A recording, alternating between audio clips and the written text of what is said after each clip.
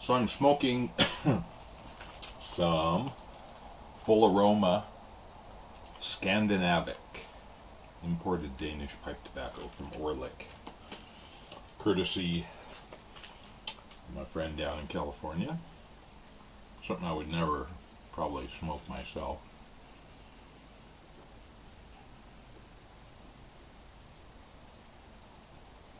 A little dried out, not very interesting to begin with, which is kind of why he sent me these mixtures, because um, uh, he was not too thrilled with them. But it's fun to try something new.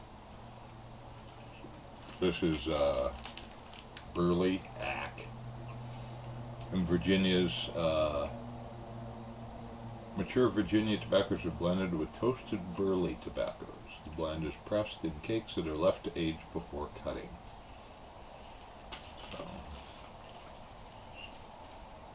So what am I smoking? That's what we really want to know here. Looking at it, you'd say it was a Jum or a CustomBilt. Can't really. The sun's a little weird here, but nice little pipe. This is uh, a BP Jum. Let me get my fat hands out of the way here. This will be fairly unsatisfactory, sorry. but you can see it's a similar style of pipe. And then this is the CustomBilt that was in that other video a few vids ago comparing the Jum and the CustomBilt and the rustication, I mean, carved on the same day by the same guy. You know, I mean, it's so similar. So this is similar, but not the same. And it is a yellow bowl. So these were produced by who? I don't know. Uh,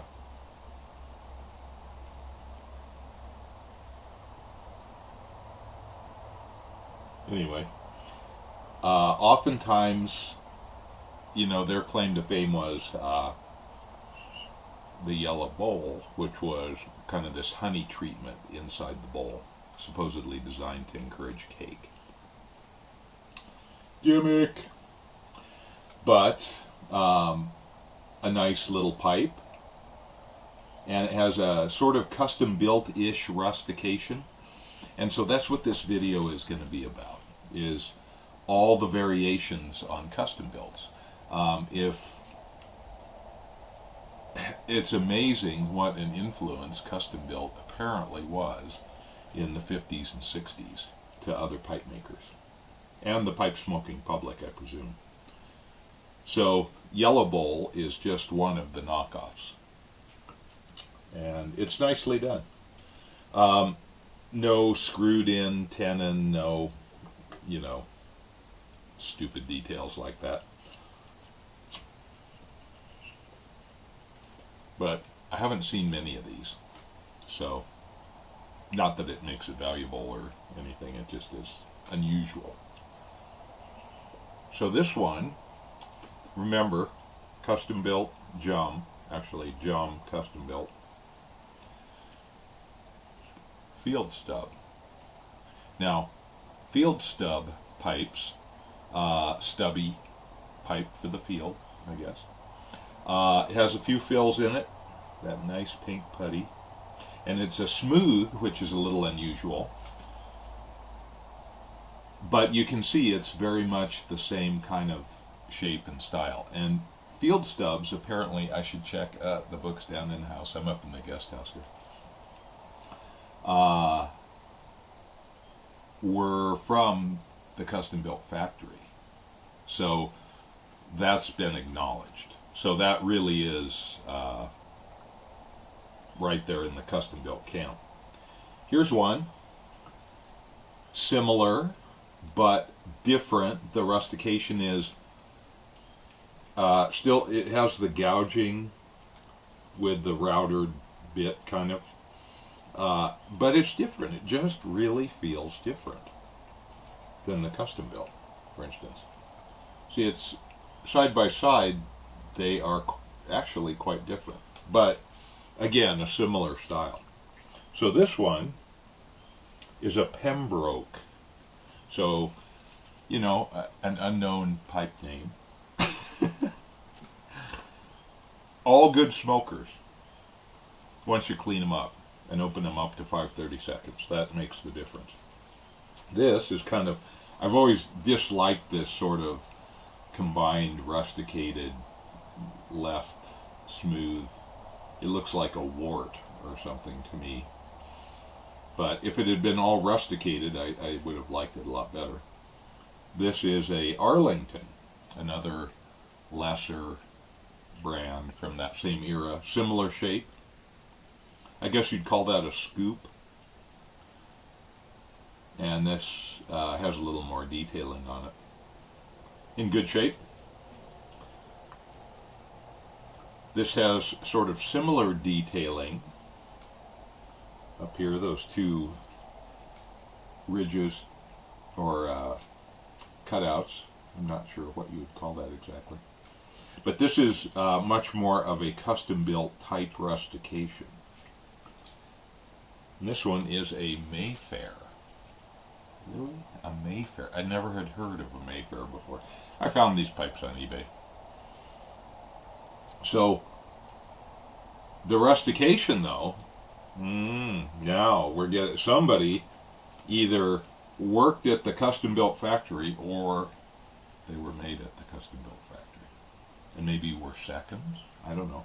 The, uh, I mean, it's it looks like the same kind of equipment was used, unlike some of these others. But this one uh, had a crack, which actually doesn't detract from the, uh, the pipe. It's uh, a shallow crack right there. So I got it for really cheap. I think less than 10 bucks. Again, a good smoker. With the caveat that these shallow bowl, slightly, you know, full width uh, bowls, I just don't think combust as well as a taller billiard.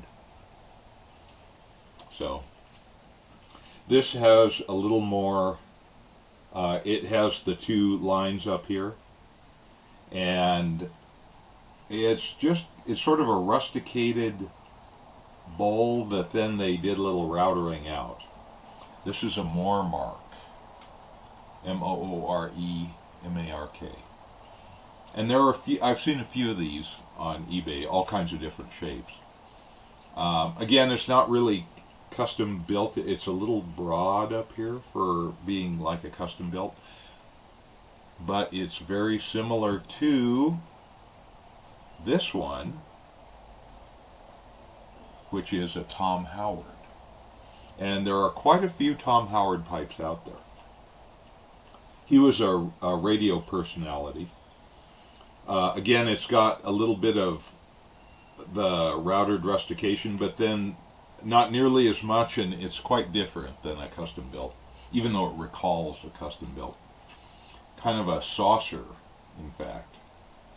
Uh, I find Tom Howard's to be a little over the top and a little overstyled for me, but that's just me. And they're big pipes, especially for the time. They were often, you know, just really chunky pipes. So this one is smooth, again with the two lines up here. It's been uh, damaged, probably by tapping, you know, to get rid of the pipe dottle, or just the ashes. The dottle, I always think of dottle as being the schmutz inside the shank, the wet stuff. But uh, so it's it's certainly not in perfect shape at all, but it is very similar again in shape and style. So these pipes are all similar, and yet they have their own personality. You know what's remarkable to me is that items from the 1950s, which are now going on, depending on when in the 50s, but uh, like they could be 65 years old, you know. Wow. um, they're in good shape, and they're durable. I mean, they'll last, honestly, probably forever. So, uh, it's neat. It's really a neat thing. Uh, this pipe smoking thing is, and I'm singing to the choir here, it is remarkable to me. You know, cigarette smokers do not have the same affinity for their cigarettes or other items.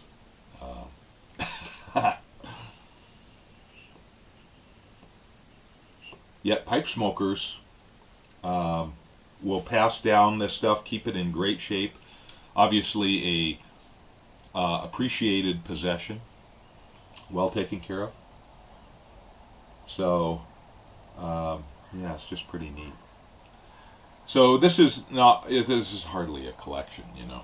It's it's just uh, random pipes I've picked up over the years, and I just have a an affinity for the shape, and so um, when I'd see one, and it was quite inexpensive, I, I bid on it, and sometimes get it, sometimes not, and you end up with a little herd of similar to CustomBilt pipes.